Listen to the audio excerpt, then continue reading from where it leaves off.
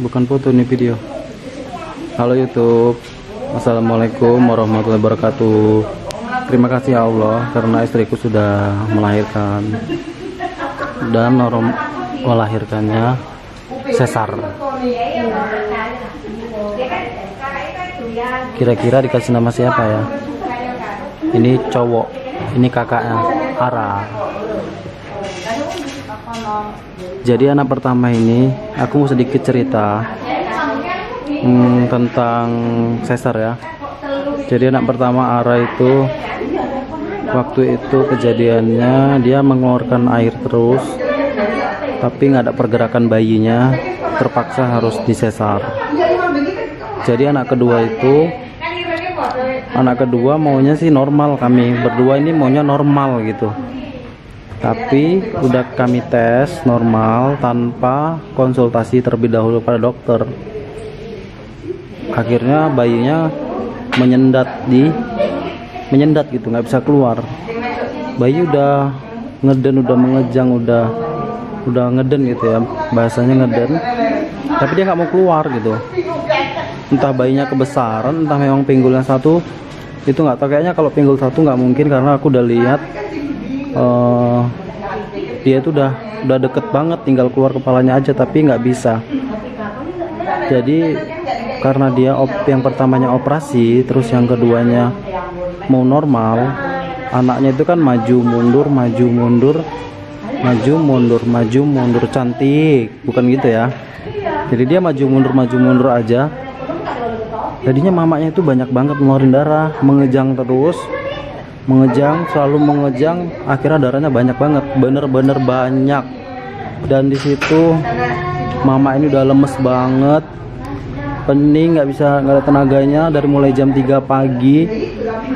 Jam 3 pagi itu udah ketuban udah pecah.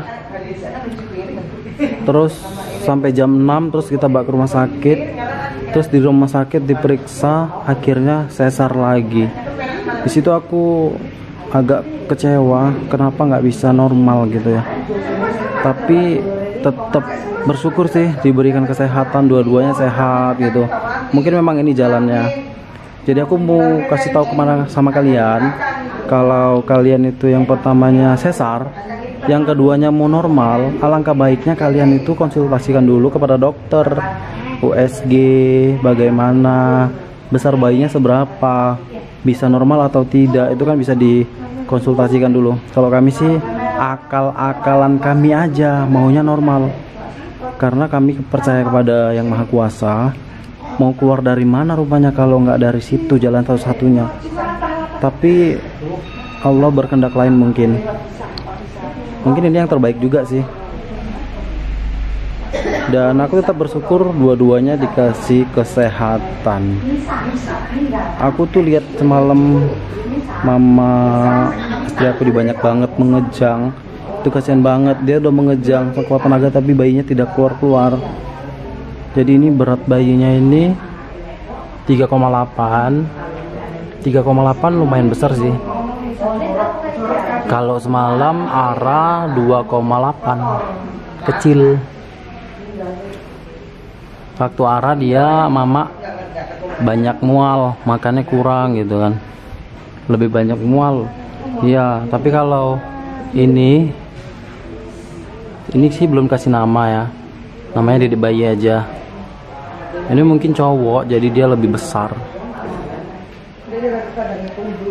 Siap? Kira-kira siapa namanya ya? Siapa namanya Rah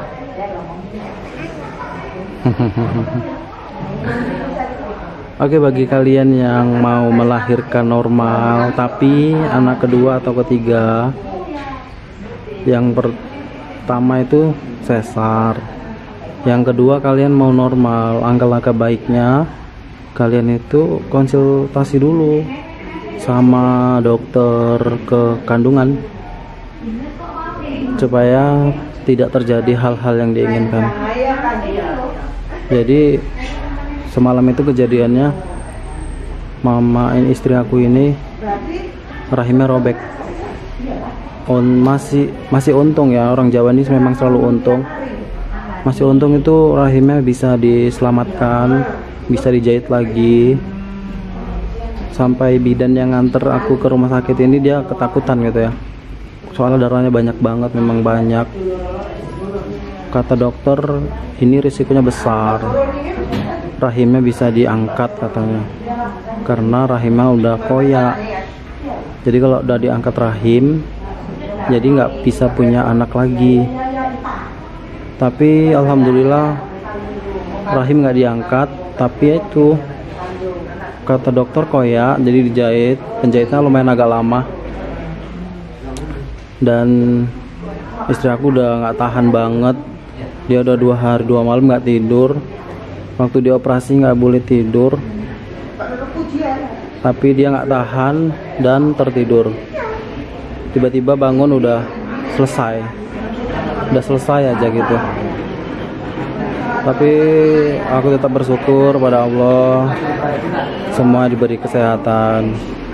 Nggak apa-apa lah operasi yang penting sehat sehat semua. Doain semuanya ya aku minta doanya semoga keluarga kami sehat-sehat semua. Amin. Oke ini aja yang bisa aku sampaikan dari pengalaman aku. Pengalaman hmm, melahirkan pengalaman melahirkan gitu. Jadi untuk kalian para para suami melahirkan itu taruhannya nyawa. Semalam aku sampai menangis gara-gara dokter bilang bisa tidak selamat karena udah beneran hebat. Aku udah sempat menangis nangisnya itu luar biasa. Nggak ada suara itu mana matanya deras banget.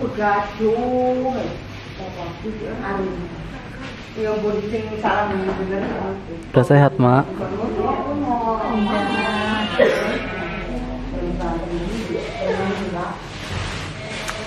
Jadi hargai jadi kalian para suami atau laki-laki di sana hargailah perempuan. Karena perempuan itu lebih lebih apa ya? Lebih berharga mungkin ya.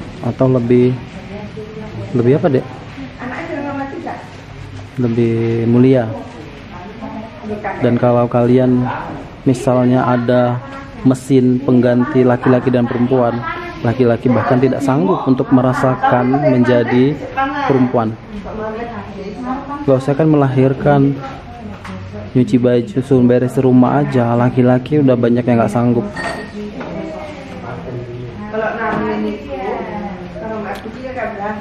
Oke terima kasih ya udah nonton video aku. Semoga sharingan aku ini bermanfaat untuk kalian semua. Maaf ya kalau agak sedikit berisik soalnya di sini rame banget. Oke, okay, dadah. I love you.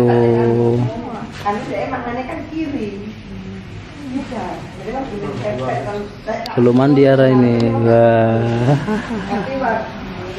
Adiknya udah mandi.